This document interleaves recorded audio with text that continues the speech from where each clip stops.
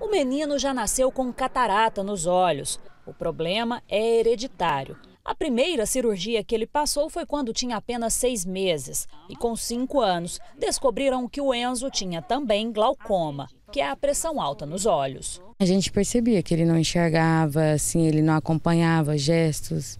Aí foi quando resolvemos fazer o exame, o teste do olhinho, e aí a gente descobriu que a cirurgia dele seria caso de urgência. Em sete anos, o Enzo já passou por 17 cirurgias nos olhos, todas para tentar baixar a pressão, mas sem sucesso. Tem dia mesmo dele chorar o tempo inteiro de dor. A gente fica sem saber o que fazer. A solução que os médicos apresentaram para a Pamela é a de colocar uma válvula nos olhos do Enzo. Essa válvula custa em torno de 4 mil reais. Desde janeiro, ela corre atrás disso junto ao Ministério Público e às secretarias municipal e estadual de saúde. O pedido foi negado. Ela foi até a Secretaria Estadual de Saúde para saber o motivo e lá disseram assim para ela: que o Estado não trabalha com casos de oftalmologia. O pedido foi encaminhado para o Ministério da Saúde. Só só que até hoje eles não tiveram nenhuma resposta. E a cada dia que passa, o Enzo corre ainda mais risco de perder totalmente a visão. O que a mãe disse à nossa equipe foi confirmado por documento. A Secretaria Estadual de Saúde atestou que nenhuma unidade da rede possui o serviço de oftalmologia. Absurdo.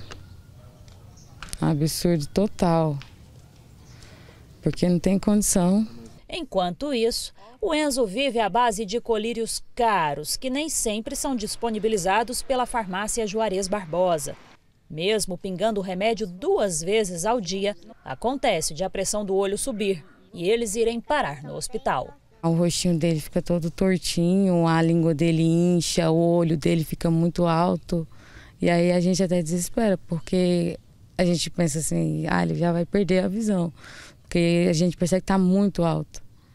Aí você chega no hospital, os médicos falam, nós não tem o que fazer. O Enzo tem algumas limitações e já perdeu 20% da visão. Ele sonha em ter uma vida normal, como a dos amigos da escola. Aí eu vejo as crianças enxergando normal e eu, e eu não enxergando direito. E você queria ser como elas?